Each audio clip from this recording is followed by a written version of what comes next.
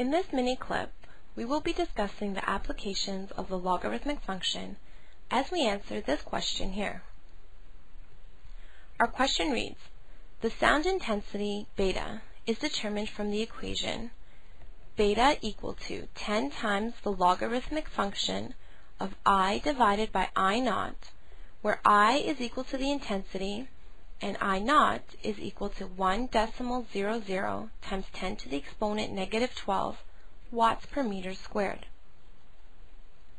We are asked to find the sound intensity, which is measured in decibels, of a sound with intensity of 5 decimal 7 times 10 to the exponent negative 9 watts per meter squared. Before we begin answering this question, let's just highlight some of the key points that are given to us. We're first told that I represents the intensity. Next, we're given that I naught is equal to the value of 1 decimal 00 times 10 to the exponent negative 12. Lastly, we have a sound that has an intensity of 5 decimal 7 times 10 to the exponent negative 9. We're going to use these three pieces of information to help us solve this problem. As well, we're going to be using the formula that is given to us. So I'm just going to rewrite this formula underneath our question.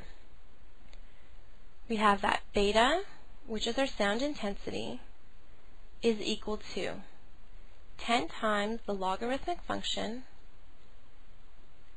of i divided by I naught.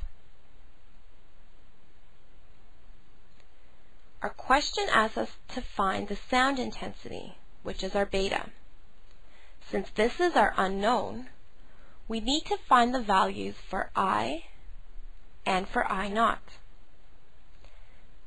This is where our given information will become handy to us. So we have that I represents the intensity. And here we're told that a sound has an intensity of 5 decimal 7 times 10 to the exponent negative 9. So we can replace this variable, i, with what it equals.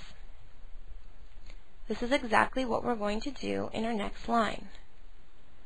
We have 10 times the logarithmic function, and instead of writing i, the intensity, we are going to write out what it equals. 5 decimal 7 times 10 to the exponent negative 9. And our units are watts per meter squared. Now we need to divide this by I naught.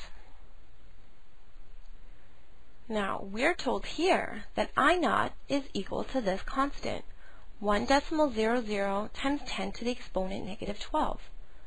So we can replace our variable with what it equals. 1 decimal 0, 0 times 10 to the exponent negative 12. And once again, our units are watts per meter squared. I'm just going to close our brackets. Now following our rules of BEDMAS, we now need to evaluate what's inside of our brackets. You'll notice that our units will divide out to 1. So we don't need to take into consideration this watts per meter squared. Dividing 5 decimal 7 times 10 to the exponent negative 9 by 1 decimal 00 times 10 to the exponent negative 12 will give us an answer of 5700. So our next line will be 10 times the logarithmic function of 5700.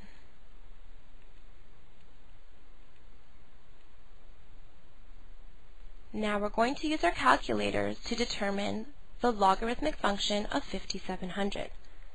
And we're going to round this number to three significant figures. We will have 10 times, to indicate multiplication, I'm going to put brackets here, and the logarithmic function of 5700 rounded to three significant figures is 3 decimal 76.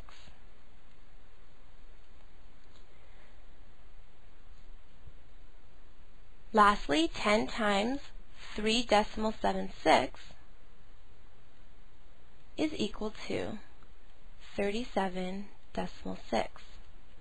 And this represents our sound intensity, or our beta, which we are told is measure, measured in decibels. So we have that for units.